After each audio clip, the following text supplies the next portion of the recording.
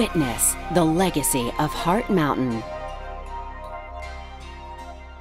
Americans rise in righteous anger, and sometimes it's driven by misinformation. And it's wonderful to be patriotic and wave the flag. Unfortunately, sometimes that flag can knock people over.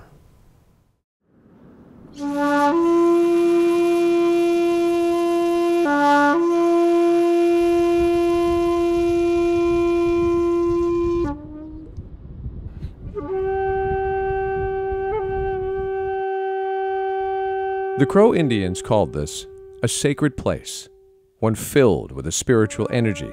They named it Heart Mountain.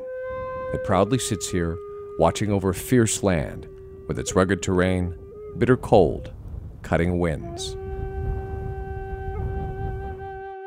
A land known for struggle and hardship. When the Japanese attacked Pearl Harbor,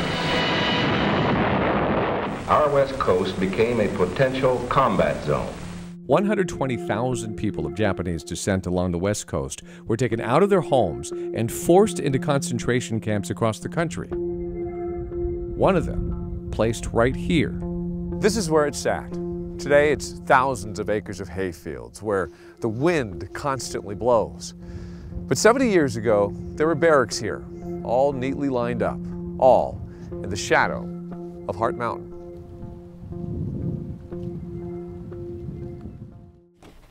This is my dad in Heart Mountain, and I really like this picture because he's holding his camera and you can see Heart Mountain in the background. Orange County's Patty Hirahara has a remarkable story to tell. Her grandfather and father were avid photographers. When they were sent to Heart Mountain, her grandfather, without being detected, built a darkroom. That dark room was supposedly a well kept secret. The key is that my grandfather built it under his own barrack apartment. He did it in secret. So my grandfather built this trapdoor. George Hirahara accomplished this by quietly digging a hole under his barracks and then building it with wood scraps he collected around camp. This is George in that dark room. He and his son Frank, who was just in high school at the time, would sneak down there at night. When it got dark at night, uh, my dad, his friends, my grandfather would go down and develop negatives and make prints. Over the next three years, George and Frank, Patty's grandfather and father, would take more than 2,000 photos of life inside Heart Mountain. 2,000 moments captured behind barbed wire that gives us a much better understanding of what life was like. A total of 14,000 people were held at Heart Mountain, 10,000 at any given time. All of them ripped from their homes, their jobs, their schools, forced to leave behind everything they owned. They were homesick, trying to exist in this environment the best they could. Patty didn't even know the collection existed until just a few years ago. Her father and grandfather had already passed. And so I went up to the attic and I found a small blue box. And in this blue box, on the end said Heart Mountain. Inside were negatives I could tell that these were school shots, these were people's portraits, these were specific incidents of camp like Japanese dancing during the summer in Obon and pictures of dinners and pictures of wedding announcements. It was fantastic. Patty has been studying the photos, trying to identify the people in them. At the Japanese American National Museum in downtown Los Angeles, we witness a reunion of sorts. People once held at Heart Mountain, now 70 years later, take a trip back in time through this photo collection. When I look at this now, it rekindles a lot of memories for me. This is 88 year old George Yoshinaga. He still writes a column for the Rafu Shimpo, a Japanese American newspaper out of LA. Were there a lot of folks from Los Angeles in Heart Mountain? Yeah, I would say 80%. There were more Japanese in Los Angeles than in any other area. We knew that some among them were potentially dangerous. George was 18 at the time and became one of the stars of the Heart Mountain High School football team. Patty's father captured photos of him on the gridiron, and his memory is remarkable. Now, this is that's you running. I'm on defense in this particular play. This was against Lovell, and we beat them seven to nothing. Football was his escape. Even though they were held at a concentration camp, they were allowed to play the local high schools as long as those schools came to the camp. His team went undefeated.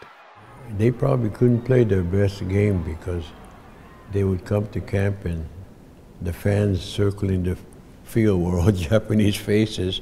they couldn't imagine that we know how to play football because most of the people thought that we were really Japanese, you know. They were totally amazed at said, geez, I didn't know Japanese play, knew how to play football. it was a telling lesson for the visiting teams. These were not enemy aliens, they were Americans. George Fukuda.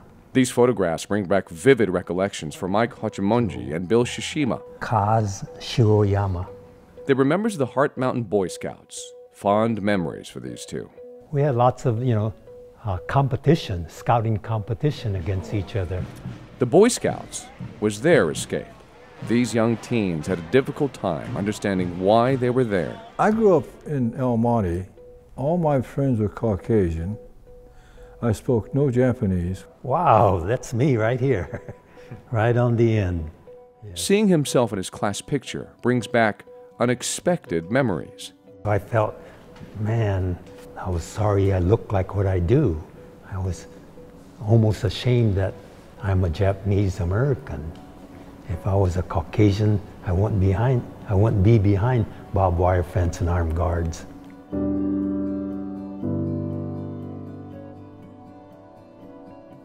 Very bad memories. 97 year old Jack Kunitomi had his difficulties in camp. I had just been married. Heart Mountain was literally his honeymoon.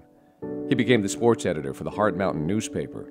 These pictures capture his more pleasant memories of camp, covering sports. I was born in the shadow of the mountain. Jack's son Dale was one of 556 babies born in the camp. Jack's other son Daryl wasn't born for another 10 years, but certainly sees the long lasting relevance of what happened to his father. It's still a subject we're talking about because the definition of what America is comes up all the time. What is America? What makes you American? And the Japanese American experience is a real good discussion because it took America to its absolute limits.